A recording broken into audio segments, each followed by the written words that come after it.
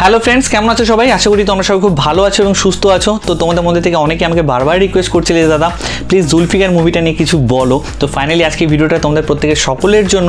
শুধু movie review বলে ভুল বলা হবে, শুধু মুভি রিভিউ করছি না, তার সাথে এই মুভির কিছু পজিটিভ পয়েন্ট কিছু নেগেটিভ পয়েন্ট বা এত যে ক্যারেক্টার ছিল সেগুলোর অ্যানালাইসিসও করছি। তো ওভারঅল একটা ভালো প্যাকেজ পেতে চলেছো এই ভিডিওটার মাধ্যমে। ভিডিওটা শেষ অবধি অবশ্যই দেখো। তোমরা সবাই যেন এই মুভিটা বক্স অফিসে ঠিকঠাক সাফল্য পেলেও প্রচণ্ড কিন্তু ক্রিটিসাইজ করা হয়েছিল এই মুভিটাকে তো দু হাজার ষোলো সালের সেভেন্থ অক্টোবর দুর্গাপূজার সময় এই মুভিটা রিলিজ করে এবং খুব অ্যাটেনশন পেয়েছিল এই মুভিটা কারণ একটা এনস্যাম্বলিং কাস্ট ছিল। আমাদের টলিউডের দাপুটে দাপুটে তাবর তাবর সব অভিনেতা অভিনেত্রীদেরকে এই মুভিতে কাস্ট করা হয়েছিল এবং পুজোর টাইম তোমরা সবাই জানো, বাঙালিরা তো মুভি দেখবেই দেখবে। তো এই মুভিটা ইন্সপায়ার্ড ছিল। কোথা থেকে আমরা সবাই জানি শেক্সপিয়ারের লেখা দুটো ট্র্যাজেডি একটা হলো জুলিয়াস সিজার আর একটা অ্যান্টনি অ্যান্ড ক্লিওপেট্রা সেখান থেকে ইন্সপায়ার্ড হয়ে কিন্তু এই জুলফিকার মুভিটাকে বানানো হয়েছে। সেখানে যা যা ক্যারেক্টার ছিল, এখানেও আমরা সেই সেই ক্যারেক্টারগুলোকে একটু এদিক ওদিক নাম করে আমরা কিন্তু স্ক্রিনে দেখতে পেয়েছি। তো প্রথমে যেটা করছি সেটা মুভির কিছু ইনফরমেশন আগে দিয়ে নিই। এসভিএফ থেকে মুভিটা এসছিল, সে কারণে বেশ হাই বাজেটের একটা মুভি বলতে পারো। Srijit Mukherji sir as usual director ছিল। তোমরা সবাই জানো এসভিএফের সাথে এখন সৃজিৎ স্যার পরপর প্রচুর কাজ করছেন। এবং অনুপম রায়ের মিউজিক ছিল মিউজিকও নো ডাউট এই মুভির ঠিকঠাক ছিল।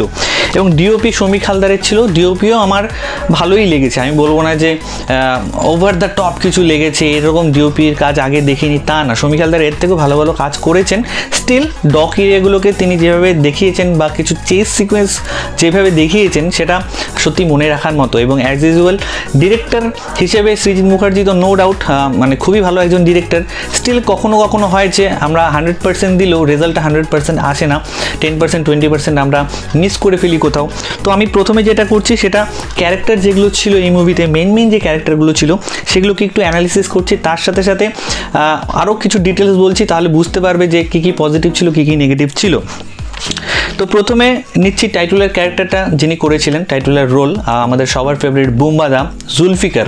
জুলফিকারের রোলটা তিনি করেছিলেন। তো তার স্ক্রিন প্রেজেন্স অতটা ছিল না। ফার্স্ট হাফেই যা ছিল সেকেন্ড হাফে তো আমরা দেখতে পাইনি। কিছু কিছু ফ্ল্যাশব্যাক সিন ছিল। এর বাইরে আর কিছু ছিল না।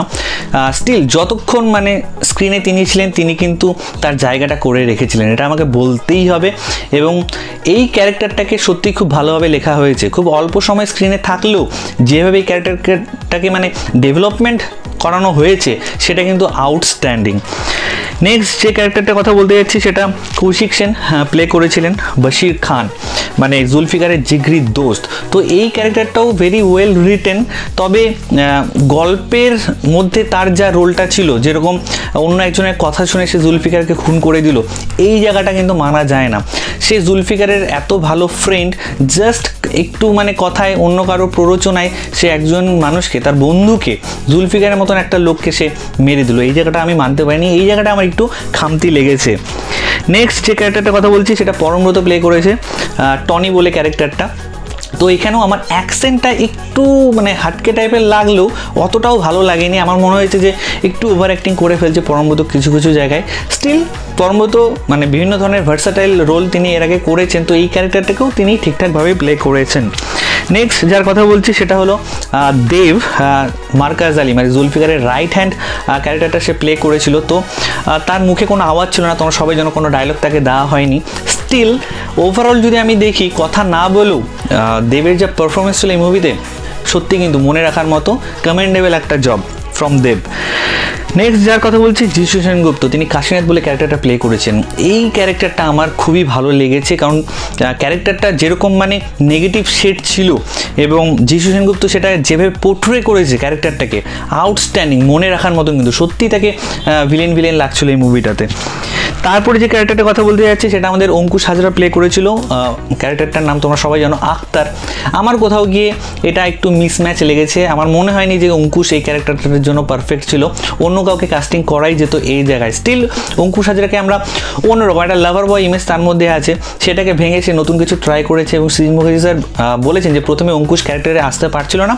পরে চেষ্টা করে তিনি তার তরফ থেকে অনেকটাই মানে দিতে পেরেছেন আমাদেরকে। Still up to the mark হয়নি এই ক্যারেক্টারটাকে এবং গলার যে ভয়েস মডুলেশনটা সেটাও আমার কিন্তু ঠিকঠাক লাগেনি।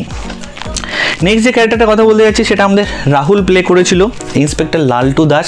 এই ক্যারেক্টারটা নো ডাউট খুব ভালো কাজ করেছে। এত একটা সিরিয়াস মুভি তার মাঝখানে যা যা ছোটোখাটো কমিক রিলিফ ছিল সেটা কিন্তু আমাকে রাহুলই দিয়েছে বলতে পারো। এবং তার ক্যারেক্টারটাও মানে অত তার স্ক্রিন প্রেজেন্স ছিল না, তবে যেখানে যেখানে তাকে দেখানো হয়েছে, যেভাবে লেখা হয়েছে ক্যারেক্টারটাকে মাইন্ড ব্লোয়িং এটা বলতেই হবে। তারপরে যে ক্যারেক্টারের কথা বলছি, সেটা পাউলিদাম প্লে করেছিল। করিশ্মা আহমেদ মানে আমাদের জুলফিকারের ওয়াইফ এটা মানে টোটালি ওয়েস্ট হয়েছে পাউলিদামকে মানে এই জায়গায় অন্য যে কাউকে নিয়ে করা যেতে পারতো পাউলিদামের মতন একজন ট্যালেন্টেড অ্যাক্ট্রেসকে এখানে কিন্তু পুরোপুরিভাবে ওয়েস্ট করা হয়েছে। কিচ্ছু করার নেই। নেক্সট যার কথা বলছি, নুসরেত জাহান, তিনি রানী তলাপাত্র মানে জুলফিকারের কি বলব গার্লফ্রেন্ডের রোলটা প্লে করেছেন। তো নুসরেত তার তরফ থেকে বলতে পারো যে, সে তো সবসময় আই ক্যান্ডি টাইপের রোল করতো, তার বাইরে একটু হাটকে টাইপের রোল প্লে করেছে। হান্ড্রেড পার্সেন্ট হয়তো দিতে পারেনি স্টিল যেটুকুনি করেছে নো ডাউট ভালো করেছে। তারপরে যার কথা বলছি কাঞ্চন মল্লিক, ছেনবাবু। কাঞ্চন মল্লিকেরও তেমন কিছু করার ছিল না তাও যেটুকুনি পেয়েছে, সেটুকুনি সে করেছে। এছাড়া জুন মালিয়া, কেন নেওয়া আমি বুঝতে পারি না।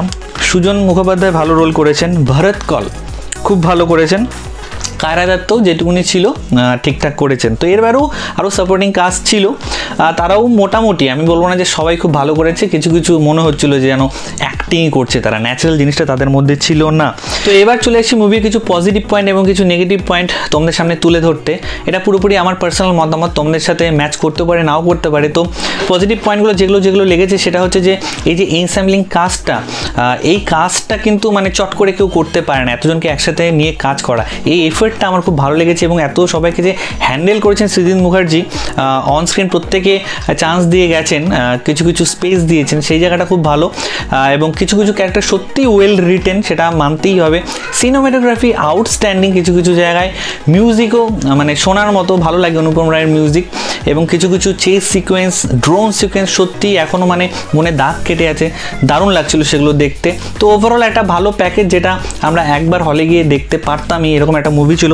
এবার যদি নেগেটিভ পয়েন্টের দিকে আসি নেগেটিভ পয়েন্ট ফার্স্টেই যেটা বলব সেটা, যেটা মুভির পজিটিভ পয়েন্ট ছিল, এতগুলো কাজ সেটাই আবার মুভির নেগেটিভ পয়েন্ট কারণ এতগুলো ক্যারেক্টারকে একসাথে ঢুকিয়ে দেওয়া হয়েছে না, পুরো ওভার ক্রাউডেড হয়ে গেছে। মানে প্রত্যেককে তো মানে ঠিকঠাক স্ক্রিন প্রেজেন্স বা স্ক্রিন টাইম দিতে হবে, সেটা কিন্তু অনেককে কিন্তু মিস হয়ে গেছে আমার মতে। কাউকে কাউকে যেরকম পাউলি দাম টোটালি ওয়েস্ট হয়েছে জুন মালিয়া টোটাল ওয়েস্ট হয়েছে, অন্যান্য কিছু কিছু ক্যারেক্টার সেগুলোকেও কিন্তু প্রপার স্ক্রিন প্রেজেন্স দেওয়া যায়নি এবং তারপরেও এই মুভিটা মানে স্ট্রেচ করে করে নিয়ে যাওয়া হয়েছে কিন্তু। মুভিটাকে আরও কম্প্যাক্ট করা যেত, কিছু কিছু এক্সট্রা সিন যেগুলো না থাকলেও গল্পটা মানে দাঁড়িয়ে যেত, সেই সিনগুলোকে যদি বাদ দেওয়া যেত না, তাহলে আরও একটু টাইট প্যাক হতো। আমার তো তাই মনে হয়। এবার যেহেতু এতগুলো ক্যারেক্টার ঢোকানো হয়েছে এবার প্রত্যেককে তো আর ফোকাসে রাখা যাবে না।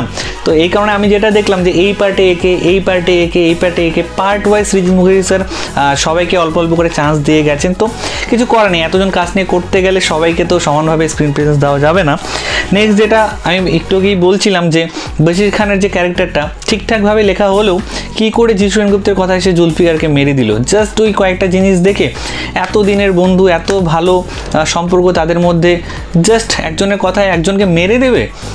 আমি তো বুঝতে পারলাম না। এত ইজিলি কী করে তাকে ম্যানিপুলেট করে নিল যিশু সেনগুপ্ত? এরপরে যে পয়েন্টটা নিয়ে কথা বলব, সেটা হচ্ছে আমাদের অঙ্কুশ হাজার ক্যারেক্টারটা মানে আক্তার বলে যে ক্যারেক্টারটা ছিল, আমার কোথাও গিয়ে মনে হয়েছে অঙ্কুশ হাজরা মিসফিট ওই ক্যারেক্টার জন্য। দো অঙ্কুশ হাজরা প্রচণ্ড ভালো ট্রাই করেছেন স্টিল কিন্তু চোখে পড়ছিল যে তার এফোর্ট যে দিচ্ছে, চেষ্টা করছে, সেটা কিন্তু আমার চোখে পড়ছিল। এবং অঙ্কুশ হাজরা অ্যাকচুয়ালি একটা অন্য টাইপের ইমেজ তো তার। তাকে চট করে এটাতে অডিয়েন্স অ্যাকচুয়ালি সেভাবে একসেপ্টও করতে পারেনি অনেকেই। এবং অনেকেই এটা বলেছে, আমি শুনেছিলাম যে অঙ্কুশ হাজরাকে একদমই মানাচ্ছে না এই রোলটাতে এখানে আরও বড় সড়ো চেহারার কেউ আরও ভারী গলার কাউকে দরকার ছিল। তো এই জায়গাটাও আমার একটা নেগেটিভ পয়েন্ট মনে হয়েছে। এছাড়া কিছু কিছু ঘটনা যেমন খুব ইজিলি ঘটে যাচ্ছিল, একটা মানে সিন্ডিকেটের ওয়ার্ল্ড সেখানে কিন্তু প্রতিটা জিনিস খুব টাফ হয়। সেখানে কি করে এত ইজিলি সেই জিনিসগুলো ঘটে যাচ্ছিল, এটা আমার মাথায় ঢুকেনি। এছাড়া এত সিরিয়াস একটা মুভি শ্রী স্যার বানিয়েছেন তো অডিয়েন্স অ্যাকচুয়ালি রেডি ছিল না বলতে পারো। অডিয়েন্স এত সিরিয়াস মুভি এর আগে কখনো দেখেনি। একটু আলাদা টাইপের কিন্তু ছিল। মুভির যে কালার টোনটা, সেই টোনটাই কিন্তু তোমাকে সিরিয়াস করে তুলবে আর কি। তো আমার মতে অডিয়েন্সও সেই মুহূর্তে রেডি ছিল না। হয়তো সেটা যদি আরও পাঁচ বছর, দশ বছর পরে জুলফিকারটা রিলিজ করতো, তখন হয়তো আমাদের অডিয়েন্স রেডি হয়ে যেত এই মুভিটাকে আরও বেশি করে অ্যাকসেপ্ট করার জন্য। জুলফিকার মুভিতে যেটুকুনি দেখানো হয়েছে, সেই জিনিসটাকে কিন্তু আরও কম টাইমে অল্প সময়ের মধ্যে খুব সুন্দর কম্প্যাক্টভাবে কিন্তু দেখানো যেত। কিছু কিছু সিন রিপিটেশন হয়েছে, বারবার একই জিনিস ঘুরে আসছিল। কিছু জায়গায় কিছু জায়গায় মানে স্ক্রিন প্লের কিছু ফ্ল বলতে পারো, যে বারবার ড্রপ করছিল ওই জায়গাগুলো। ওই জায়গায় মানে আমরা কানেক্ট করছি করছি, আবার ওখান থেকে যেন আবার ফিরে আসছি। এরকম কিছু কিছু জায়গা ছিল। তো সেই জায়গাগুলো লুজ জায়গাগুলো যদি বাদ দেওয়া হতো না, তাহলে কিন্তু এই মুভিটা কিন্তু আরও ভালো রেসপন্স পেত। নো ডাউট বক্স অফিসে ঠিকঠাক চলেছে এবং অনেকের ভালো লেগেছে, অনেকের খারাপও লেগেছে ক্রিটিসাইজ করা হয়েছে মুভিটাকে তো ওভারঅল আমার যেটা বলার, যে জুলফিকার মুভিতে মেইন হিরোকে মেইন ভিলেনকে তোমাদের যদি কোয়েশ্চেনটা আমি করি অ্যান্সার কী হবে? যে মুভির ভিলেনে মুভির হিরোয়ে নিচে কমেন্ট সেকশন খোলা আছে, অবশ্যই জানো আমার মতে কিন্তু এখানে কাউকে তুমি হিরো বলতে পারবে না, কাউকে তুমি ভিলেনও বলতে পারবে না। প্রত্যেকটা ক্যারেক্টারের মধ্যে কিছু না কিছু আলাদা একটা শেড ছিল। তো আমার যেটা মনে হয়েছে যে জুলফিকার মুভিতে অ্যাকচুয়ালি কেউ হিরো না, কেউ ভিলেন না এবং তোমাদের কার কি মতামত ওভারঅল আমি যে এতক্ষণ এত কিছু বললাম, তোমাদের কার কি মতামত সেটা নিচে কমেন্ট সেকশনে অবশ্যই জানো। আমি এগারলি ওয়েট করছি যে তোমাদের ফিডব্যাকটা জানার জন্য তোমাদের জুলফিকার মুভিটা কেমন লেগেছিল, তোমাদের কী কী ভালো লেগেছিল, তোমাদের কী কী খারাপ লেগেছিল সেগুলো নিচে কমেন্ট সেকশনে অবশ্যই লেখো, আমরা সেখানে ফার্দার ডিসকাশন করব। তো এই ভিডিওতে এইটুকুনি বলার ছিল, ভিডিওটা ভালো লাগলে লাইক কমেন্ট শেয়ার করতে কিন্তু একদম ভুলবে না, এবং তোমরা যারা যারা এখনও ডেল স্টোর ফ্যামিলির সদস্য উঠে নিয়ে নিচে রেড সাবস্ক্রাইব বাটন আছে, সেখানে ক্লিক করো আর সাথে সাথে আমাদের পরিবেশ সদস্য হয়ে যাও। আমাদের চ্যানেলে মজা হয়, আড্ডা হয় এরবার আর কিচ্ছু হয় না। ঠিক আছে বন্ধুরা, ভালো থেকে সবাই লাভ ইউ টাটা টেক কেয়ার